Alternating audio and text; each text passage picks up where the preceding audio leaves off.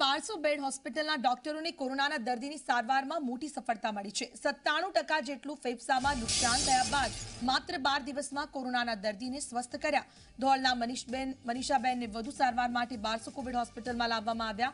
ત્યારે મનીષાબેનના મોઢામાંથી સતત લોહી વહી રહ્યું હતું. કોરોનાની દર્દીના ફેફસામાં ભારે નુકસાન થવાથી ફાઇબ્રોસિસ તરીકે ઓળખાય છે, જેથી આવા કિસ્સામાં તાત્કાલિક સારવાર ન મળે તો દર્દીનું મૃત્યુ પણ થઈ શકે છે. પરંતુ બારસો બેડની હોસ્પિટલના assistant professor doctor Kartikeya Parmar અને પલ્મોનરી મેડિસિનના વડા ડોક્ટર રાજેશ સોલંકીએ મહિલાની સારવાર આપી, જેમાં રેમડેસિવિર ટોસિલિઝુમેબ પેન્ટાગ્લોબિન જેવા ઇન્જેક્શનથી સારવાર કરી મનીષાબેનને માત્ર બાર દિવસમાં સ્વસ્થ કર્યા.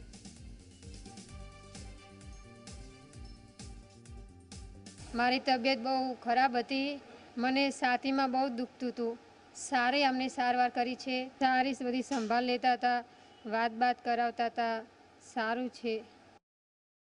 આપણા આ હોસ્પિટલમાં વિનામૂલ્યે ખૂબ જ સરસ રીતે એમને જે antiviral medicines immunostimulants immune સિસ્ટમનું એમને જે ડિસ્ટર્બન્સ કહેવાય કે જેને સાયટોકાઇન સિન્ડ્રોમ કહેવાય, તેના માટેના પણ ઇન્જેક્શન ખાસ આપી અને એમના ફેફસામાં જે પંચાણું ટકા ફેફસામાં ડેમેજ હતું, તે સારું થઈ અને આજે ફોલોઅપ અમે સિટી સ્કેન પણ કરાવ્યો છે અને એમાં અત્યારે ખૂબ જ નહિવત પ્રમાણમાં ફેફસામાં જે નુકસાન છે એ દેખાય છે. પણ તેઓ સ્વસ્થ અને રિકવર થઈ ગયા છે. આજે એ અત્યારે સત્તાણું અઠ્ઠાણું ટકા એમના લોહીમાં ઓક્સિજન ફરી રહ્યો છે.